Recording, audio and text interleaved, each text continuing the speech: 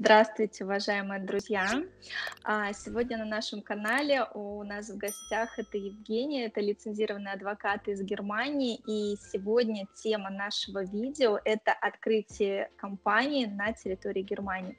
Здравствуйте, Евгения, спасибо, что уделили нам время. Расскажите, пожалуйста, немного о себе, и мы с вами перейдем к основной части нашего видео. Алена, добрый вечер. Да, зовут меня Евгений, как вы правильно сказали, э, фамилия Вунш. Я являюсь адвокатом. Компания называется на сегодняшний день Вунш Рейхценвельте, партнерство.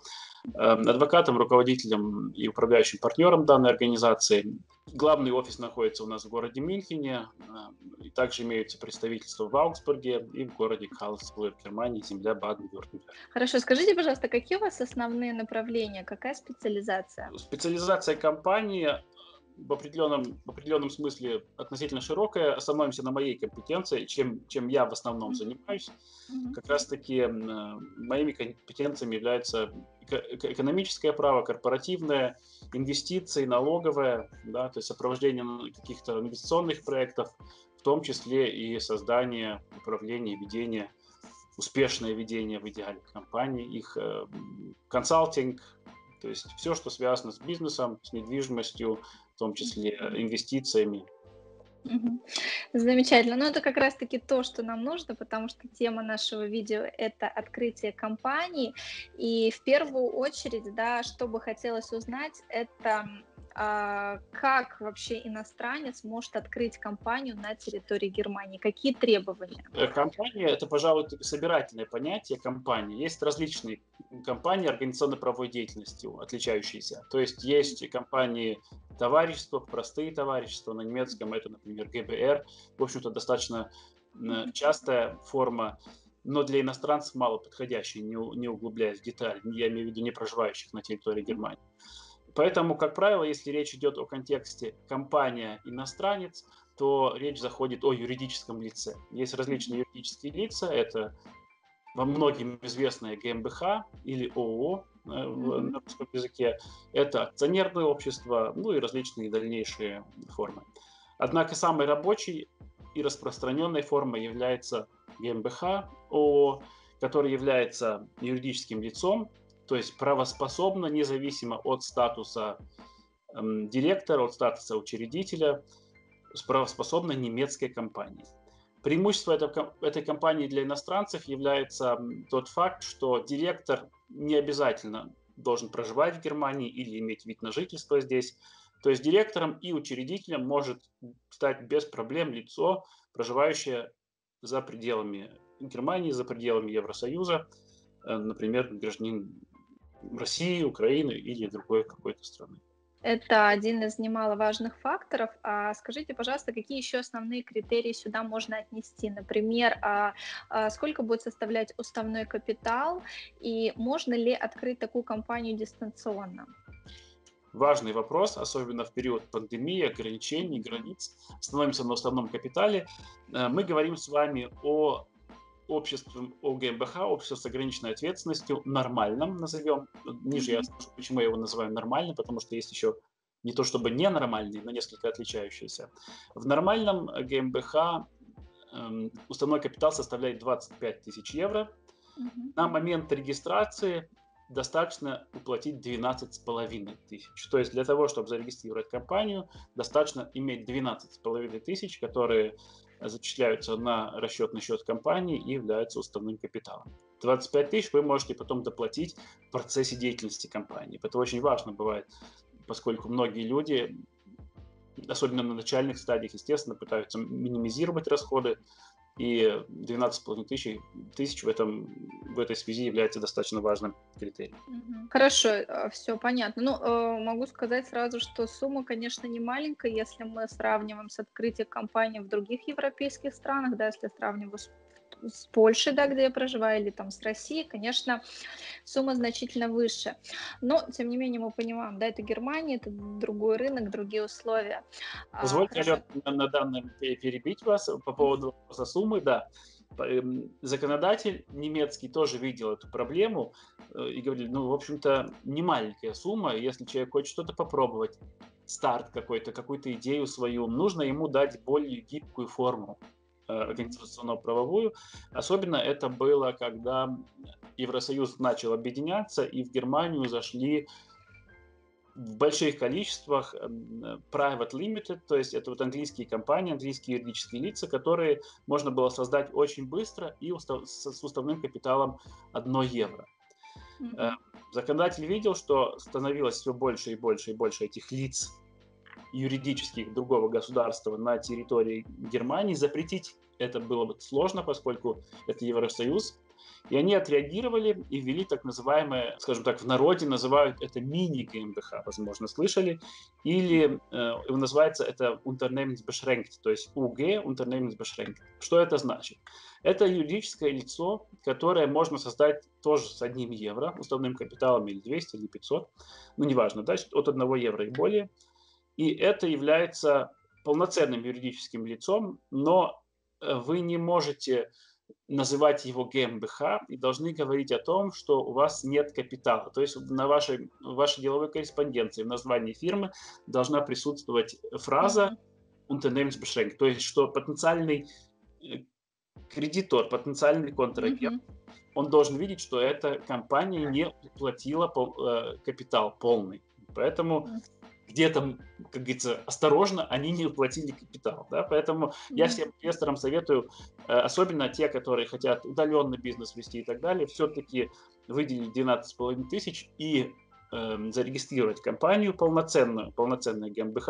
Это не значит, что с УГС, это мини-ГМБХ, нельзя работать, с ней можно работать, но вот такой вот небольшой привкус, скажем так, у них есть. А, мне кажется, компании в этих случаях, э, наверное, каким-то маленьким шрифтиком где-то это указывают, или к этому есть Они обязаны определенные... делать, а. да. То есть вы не можете написать, э, создать такую компанию и написать ГМБХ. Она, это не ГМБХ. То есть это, например, будет условно там Э, раз, два, три ГМБХ, если мы 12,5 тысяч платили, или это будет раз, два, три УГ, да, и в скобочках иногда еще дописывают Unternehmensbeschränkt, то есть ограничено эм, вот ограничено. Это сразу понятно. Вы знаете, а, например, для человека, который ведет какой-то международный бизнес, а, не всегда эти понятия, они как бы для иностранного какого-то контрагента будут вообще иметь какое-то значение, как бы, ну, компании, компании, не всегда же люди вдаются прям в такие тонкости. Ну, опять же, смотря, все зависит, наверное, от суммы сделок проводимых, может быть, там будут и привычные юристы.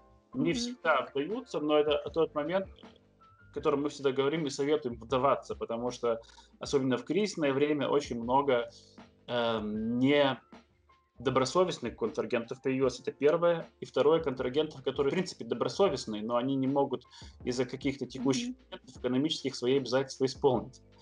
Поэтому желательно, прежде чем какие-то договоры заключать, посмотреть, а кто за этим стоит. Да, если за этим стоит, может быть, УГ, никоим образом не хочу их значения. Есть прекрасные УГ-компании.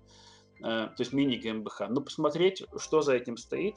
Поэтому, по крайней мере, я здесь позволю себе с вами не согласиться, и всегда для меня это решающий фактор. Как минимум, не значит, что УГ мы не работаем. Нет, работаем, но нужно посмотреть, а что там за этим стоит. Как бы сигнальная такая это, эм, посмотреть. Поэтому, эм, в общем-то, дело вкуса немного. Но вот из опыта все-таки желательно 15,5 тысяч внести. Почему еще это имеет смысл, поскольку эти 12,5 тысяч уставной капитал, он не замораживается на счете. То есть, что его положили вы на, на счет расчетной mm-hmm. компании, это не значит, что он там будет лежать за мертвым грузом, что называется. Mm-hmm. То есть, для цели фирмы вы э, сможете его использовать. Так вот, если создали, например, УГ и внесли туда 500 евро, а нужно офис, нужно бухгалтер, нужен налоговый консультант и прочее, прочий персонал, то вы вынуждены доплачивать туда, либо займ давать своей собственной компании.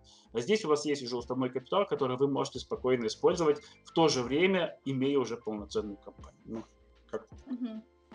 А, вы знаете, вот э, я вообще как информацию, да, изучала предварительно в интернете, могу сказать, что вот компании, которые тоже, ну, а, позиционируют себя как э, профессионалами в этой области, да, по открытию компаний, очень много там московских компаний, да, которые вот тоже э, занимаются вот открытием компаний именно в Германии, они вообще не раскрывают эту тему, то есть они не пишут вообще об этом, да, и, например, для меня это тоже как какое-то новшество, да, что так возможно, потому что для меня было исключительно, что вот 25 тысяч и как бы никак иначе. Ой, Окей. это, что многие не знают. Да, здорово, спасибо большое. Теперь мы знаем.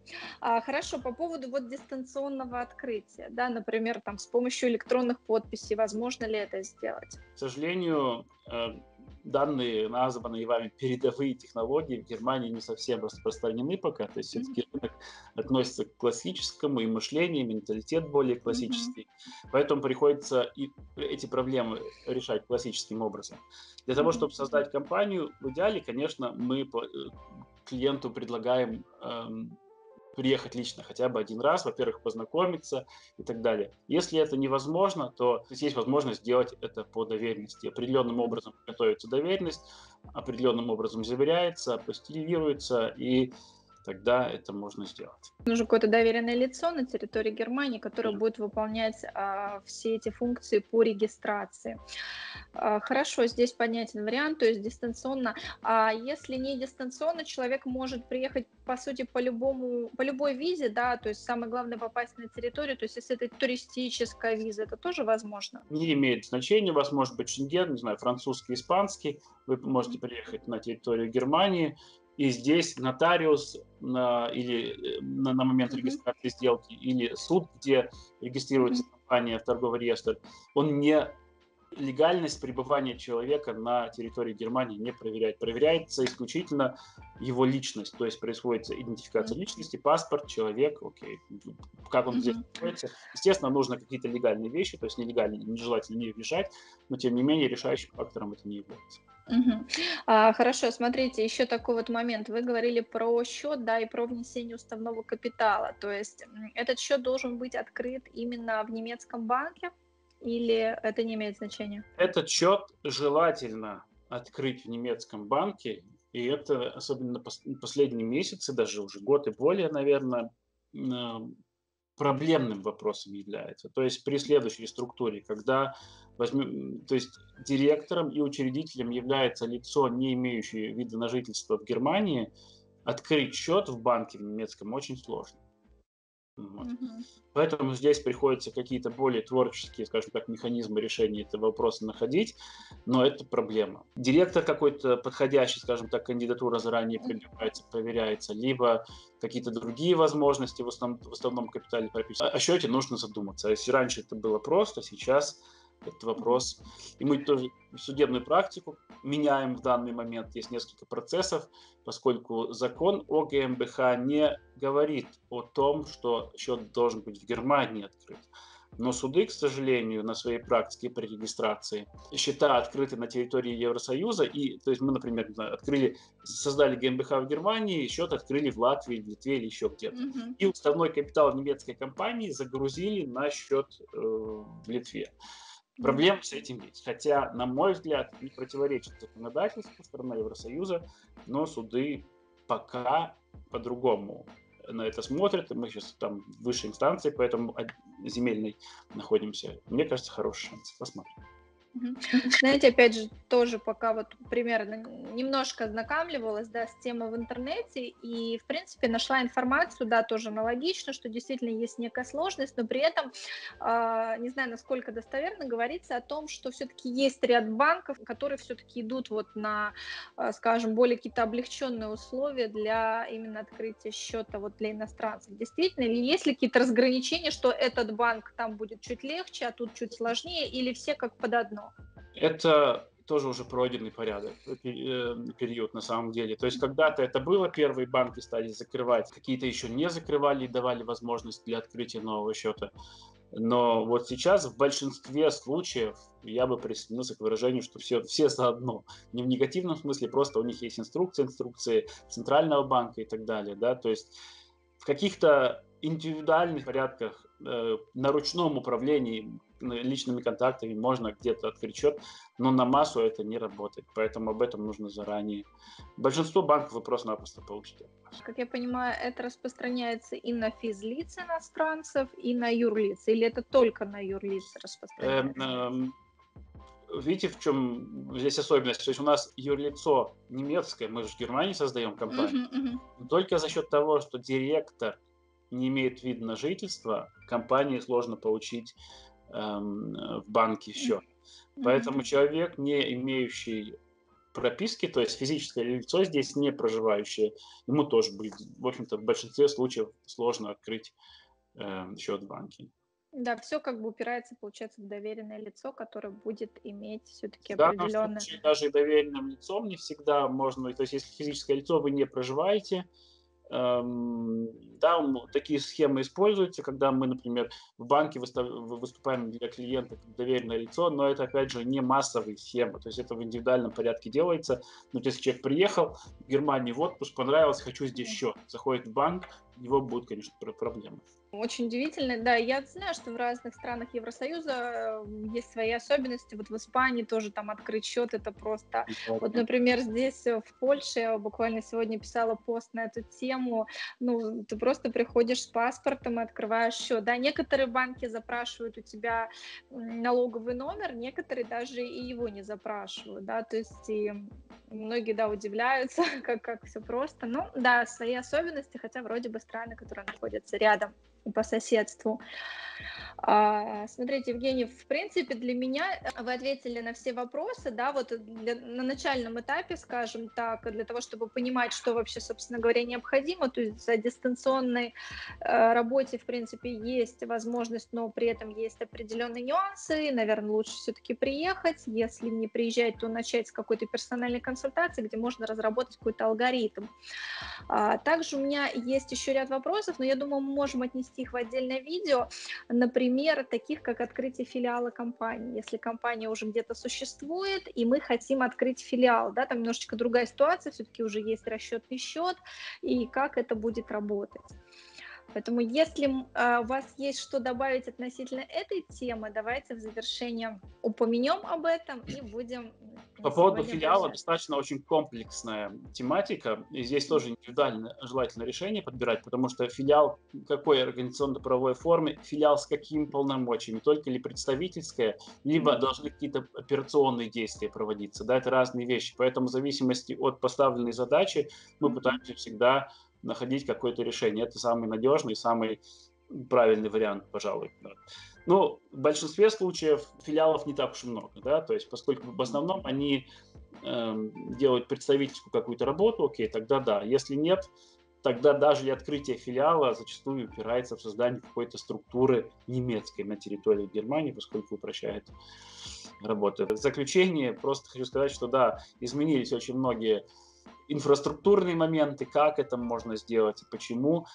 Э, где-то усложнилось, где-то упростилось, э, упростились процедуры. Тем не менее, все остается возможным, и даже в кризисные моменты создаются новые компании, которые успешно развиваются. Но, что, видимо, нам всем придется, это менять привычный взгляд на вещи, это однозначно. Хорошо, спасибо большое, Евгений. Буду очень рада послушать вас в других видео. Действительно, видно, что вы эксперт и профессионал в вашем деле. Также хочу напомнить всем нашим подписчикам, что вы можете оставлять а, заявки на сайте, который будет указан под этим видео. Также пишите свои комментарии, подписывайтесь на наш канал, а мы обязательно с вами увидимся еще в следующих видео. Спасибо большое еще раз, Евгений. Всем удачи. До свидания. Пока-пока.